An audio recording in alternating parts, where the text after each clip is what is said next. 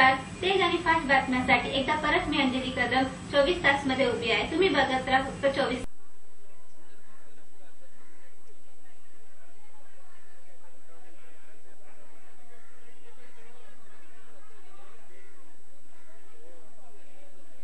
आता मी तुम्हाला स्टार्टिंगवरनं सांगतो. ते सतरा जुलैला स्कूलनी एक सर्क्युलर दिलं होतं स्टुडंट्सला ते फतवासारखं होतं म्हणजे सोळा तारखेला त्यांना नवीन प्रिमायसिसमध्ये शिफ्ट व्हायचं आहे.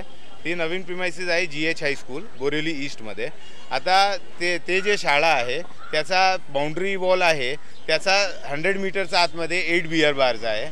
आणि काही तसं गेस्ट हाऊस आहे जे इलिगली चालत आहे. दुसरी गोष्ट की त्या शाळेचा बाउंड्री आहे त्याचा मध्येच स्लम आहे. आणि ते स्लमची खिडकी ते बाउंड बाउंड प्रिमायसिसमध्ये खुलते. तर त्याच्यामध्ये ते ब तेच प्रिमायसिस आहे त्याच्यामध्ये मुलांची सेफ्टी नाही. पहिली गोष्ट ती होती. दुसरी गोष्ट की जे स्थळांतराचं प्रोसेस चालू होतं ते completely G R thirty first जुलै टू थाउजंड थर्टीनच्या अगेन्स्टमध्ये म्हणजे एकदम वेगळंच होतं ते. तर त्याच्यामध्ये त्यांच्याकडे ते सी वन कॅटेगरीमध्ये डिक्लेअर झालेलं नव्हतं बिल्डिंग त्यांच्याकडे नव्हती. म्हणजे का काही एवढी अशी गोष्ट होती जे त्यांनी कंप्लाय केलेली नव्हती. आणि जे पण त्यांनी परमिशनसाठी अप्लाय केलं आहे ते त्यांनी अकरा तारखेला अकरा ऑगस्टला आम्ही पिटिशन फाईल केली. त्यानंतरच त्यांनी अप्लाय केलेलं आहे. तर ते गैरकायदेशीर होतं. आणि आता त्याने आता त्यांनी आम्हाला पेरेंट्स पालकांना बोलवलं होतं की आम्ही तुम्हाला एक प्रेझेंटेशन दाखवतात की स्कूल कशी आहे. हा प्रेझेंटेशन पी टी ए आणि जे पालक आहे ते सतरा जुलैपर्यंत पा पासून त्यांना सांगत आहे की आम्हाला ते प्रेझेंटेशन दाखवा. कारण आम्हाला काय तुम्ही करणार आहे ते स्पष्ट करा. ते स्पष्ट करत नव्हते. आता त्यांना माहीत पडलं आहे की त्यांनी गैरकायदेशीर प्रमाणे शिफ्टिंगचं ते प्रोसेस घेतलं होतं. आणि आता आता आम्ही कोर्टामध्ये गेलो आहे.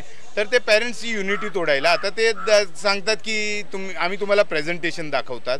आता पालक पण नाही गेलेत आम त्यांनी पण ब- बहिष्कार केलेला आहे असं प्रेझेंटेशनचं ते बहिष्कार केल्यावर आता त्यांनी काय केलं? स्टुडंट्सला टार्गेट करायला सुरुवात केली. आता त्यांना बोलवतात प्रेझेंटेशन दाखवायला ब्रेन वॉश करायला. तर हे पण चुकीचं आहे. पण आम्हाला त्याच्यामध्ये हरकत नाही. कारण स्टुडंट्सला पण माहीत आहे की त्यांचं त्यांना त्यांच्याबरोबर कसा अत्याचार होत आहे. त्यांना वॉशरूममध्ये पाणी देत नाही प्यायला पाणी देत नाही. तर का ते क्रुएलिटी करत आहे. ते सगळं त्या मुलांना पण माहीत आहे. ती लास्ट हिअरिंग होती सात ऑग सप्टेंबरला. ते सात सात सप्टेंबरला स्कू ते स्कूलला कोर्टाने परत ते ओल्ड प्रिमायसिसमध्ये स्कूल चा चालू करायला सांगितलं होतं. त्यापासून त्यांनी पंपिंग बंद केलेलं आहे आणि त्याच्यामुळे मुलांना खूप अवघड होत आहे.